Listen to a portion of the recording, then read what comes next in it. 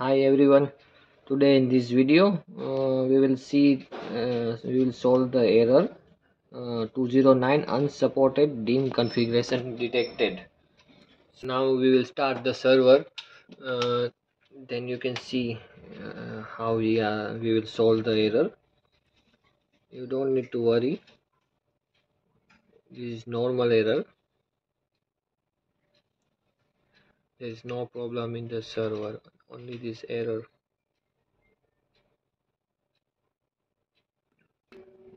Now you can see the server is starting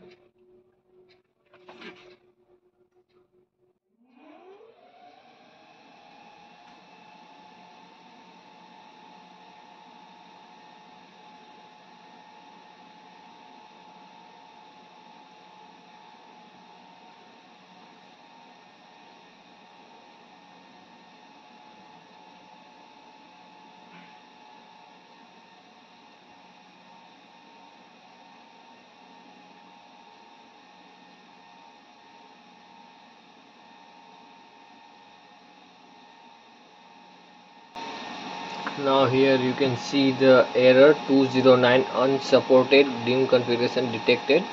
Installed DIMM configuration does not support configure amp mode.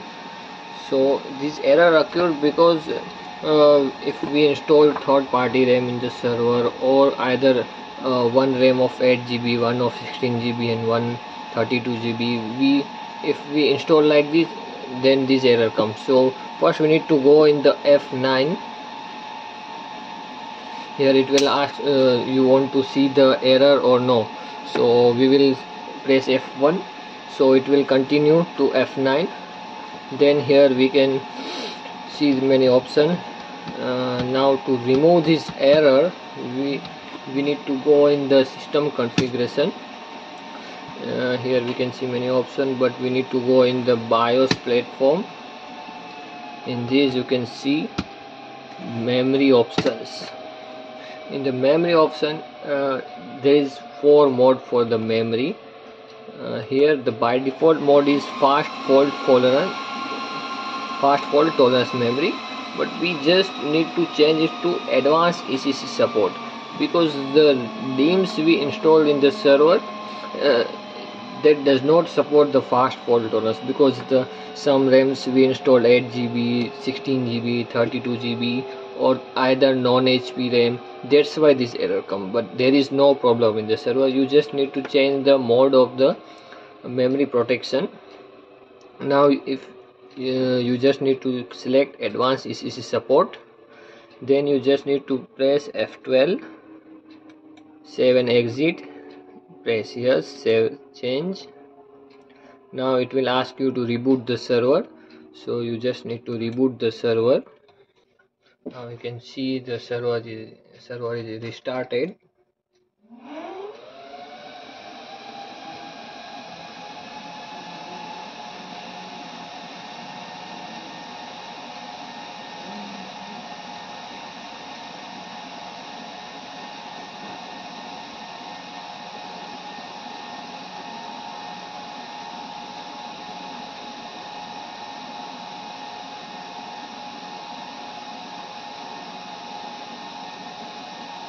and now you can see there is no error. Before there was error here uh, for the memory but now it's solved and there is no problem with the server and server is working perfectly fine. Before also there was 48 GB RAM in the server now also 48 GB in the showing.